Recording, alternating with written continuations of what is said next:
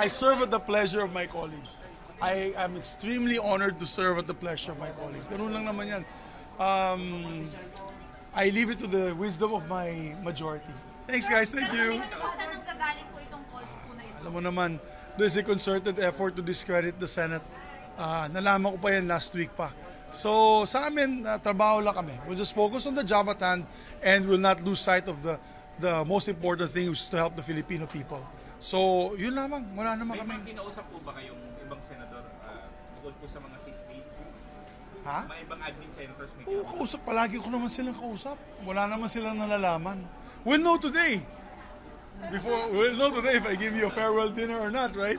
But if not, then, you know, let's continue working. It's important that we continue working for the people. Trabaho lang tayo para sa kapakanan ng taong bayan. Wala nang politika. Kala ko ba ceasefire na sila? Sino man ang gulo? Hindi ko alam. I can't speak for the other house. Uh, there is no leadership change, as far as I know, and we have our full support behind the leadership of Senate President Miguel Zubiri. Ma'am, sa tingin niyo po saan ang galing yun? Kayo makak... In fact, I will ask you, saan ang galing yun? Kayo magsabi. Yeah. But anyway, I, I, I'm very focused on our work, right? And we don't like to talk about politics or any change at this point in time, right? Sabi po ni Sen JB, may kabit uh, uh, strategy daw po ng HOR parang divide and conquer yung nangyayari. Uh, I just want to work with our colleagues in the House of Representatives, our colleagues in the Senate. Uh, there's so much to do for the Filipino people. Pero ma'am, may Thank you. change ng leadership. Normal ito, ano ma'am? Who's to say what's normal and abnormal? we don't know. yeah. As far as I'm concerned, there is no leadership change. We support Senate President Mig Subiri. Palagay ko mahirap at this point na kasi si Senate President Mig Zubiri, yung leadership niya, at katanggap-tanggap sa lahat. No? He consults everybody. So, tingin ko naman satisfied ang lahat sa kanyang liderato. And uh, yung kanyang paninindigan lalo, especially in these trying times, he has really stood by everyone and uh, protected the institution. So, rin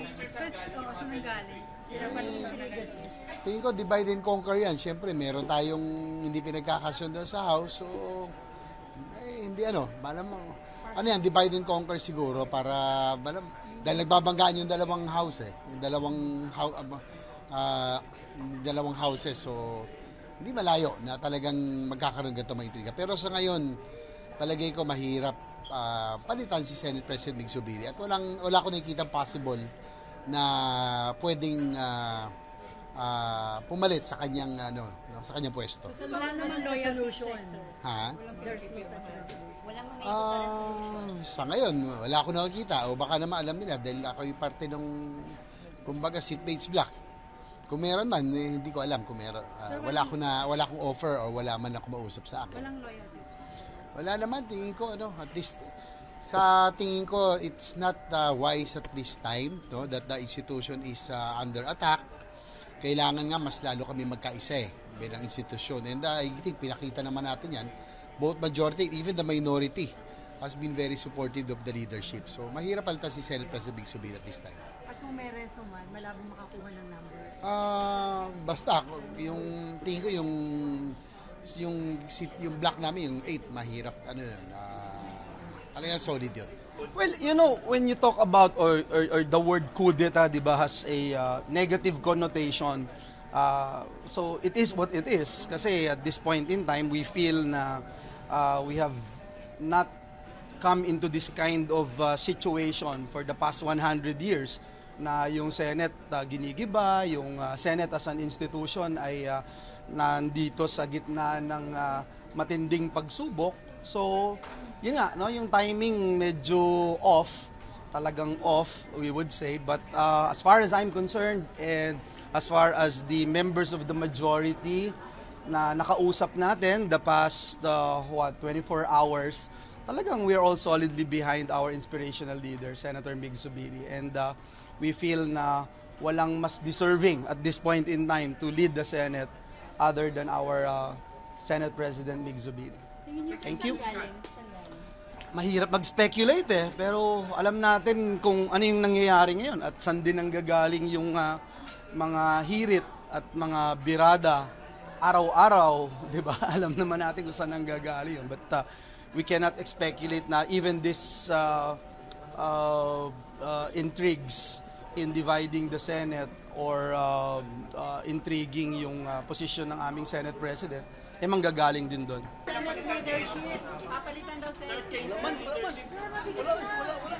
Pero yung kudita, sir, yung issue. I don't know. Wala ko alam dyan. Sir, may mga kasamahan daw kayo, sir, na kayo po yung parang napipili na I don't know. I haven't talked to a single senator about it. But is there a need, sir? Is there a need for a change in the leadership?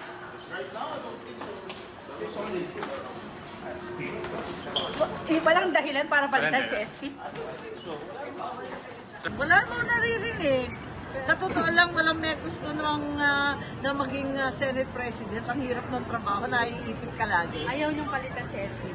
Ah, wala namang balita, hindi na papag-usapan. Pero kayo, gusto niyo siyang palitan? Okay naman siya. Ang pangit nga ng trabaho niya, wala namang may gusto. Sa totoo lang. Well, uh, that's really the business of the majority. Um, kahit sa mga nagdaang mga kongreso, kahit yung mga ba't ibang paghalal ng Senate leadership, is really the mainly the business uh, of the majority.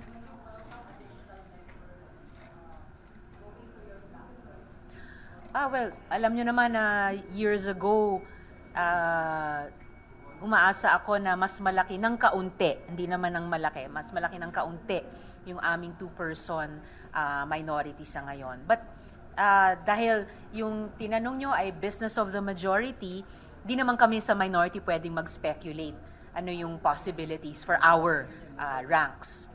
Whenever, if, if and whenever that process happens, ah, after the fact na second step na ang ang ah, pag-reassess ng minority. So it's the business of the majority.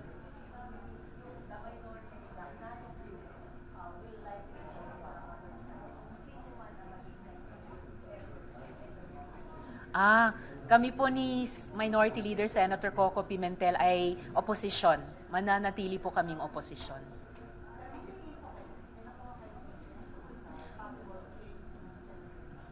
Yung nababasa ko lang sa inyo, sa media, ganun lang. Hindi naman, ah, hindi naman kausap ang minority sa anumang ganyang proseso. It's really, really the business of the majority.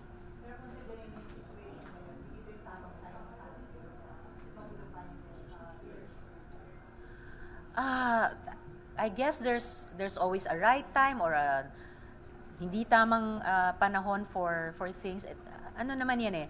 Ah, basta confident ako na kaya ng Senado ah, to maintain its leadership as an institution. Ah, even even beyond ah, individuals. At alam ko na ang ang Senate leadership ay nakataya din doon.